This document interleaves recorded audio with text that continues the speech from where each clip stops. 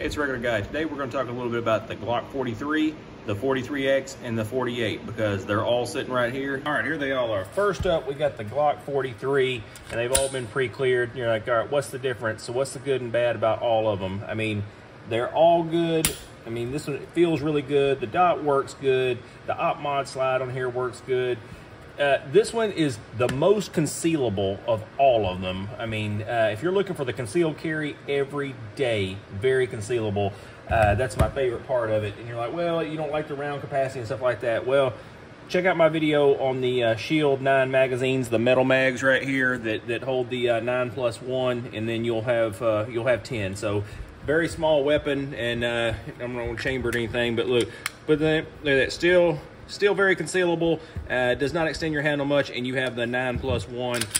So, I mean, hey, that's best concealed carry all day. Uh, all right, 43X, what we got here? I'd say this is a good in-between between these two, because this is the 48 and 43X right here. I mean, they're basically the same. I mean, look, the lower part is the same, except I got a magwell on here.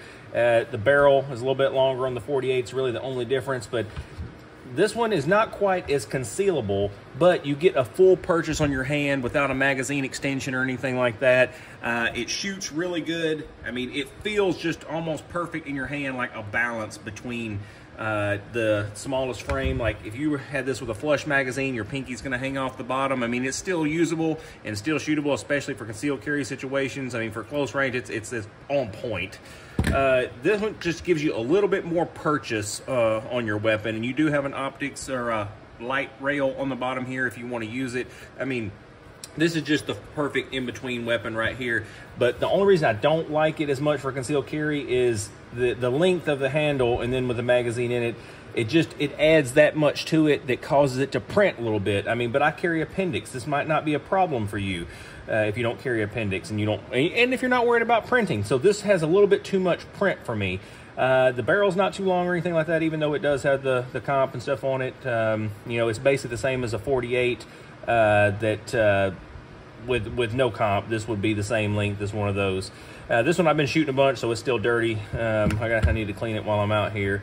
Also, this brings us to the king daddy of all of them, the 48.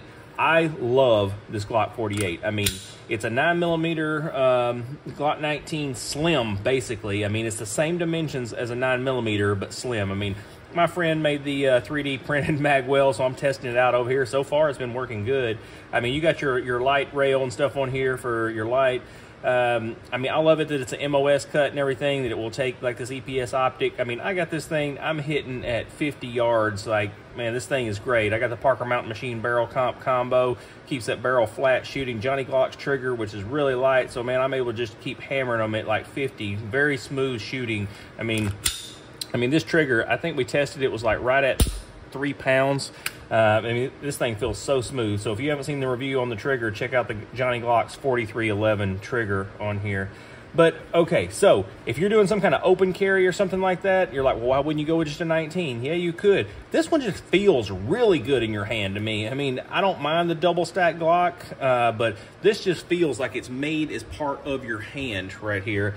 Um, very accurate, especially with this barrel, but on the other hand, concealed carry, it's not the best for concealed carry because once again, just like the 43X, it prints a little bit too much for the appendix carry for me. If that's not a problem for you, if you're gonna do the open carry or you're gonna do the five o'clock or something like that, four o'clock, uh, it should not really bother you. Uh, but if you're trying to carry concealed and be the most concealable possible, I mean, this this is not the way to go. This is by far the best shooting with the longer barrel. It's slightly more accurate. You got a longer sight radius and stuff. So that, especially with the dot, which I love, I mean, this thing is the most accurate of the three. Second most accurate is probably this uh, 43X just because of the longer barrel and sight radius and stuff like that. So accuracy here, here, close range concealment, I would definitely go with uh, the Glock 43. I mean, um, it is what it is. I had the extra frame and stuff, so I bought this op mod slide and I, I just turned it into an extra 43 just for a little concealed carry. I mean, um, not necessarily a looker or whatnot, but hey, looks are secondary to performance. But other than that, I mean, it shoots really good. Don't get me wrong. I mean, this thing is wonderful, especially for close range. And if you have the, uh, like I said, the, the extension magazine in there, um, it fits your hand flush, and it's not quite as long as the Taran Tactical ones that are out here. So the Shield did it really good on this one. I mean, I like it. Uh, so for concealed carry, I'm sticking with this. But for best shooting, you know, open carry type thing or something else where I'm not worried about printing winter clothing, I'm definitely going to go with the, the 48. But for the everyday kind of mid, if you just want something that will go for either one, this 43X, I mean, this is where it's at. It's kind of the best of both worlds, kind of in between.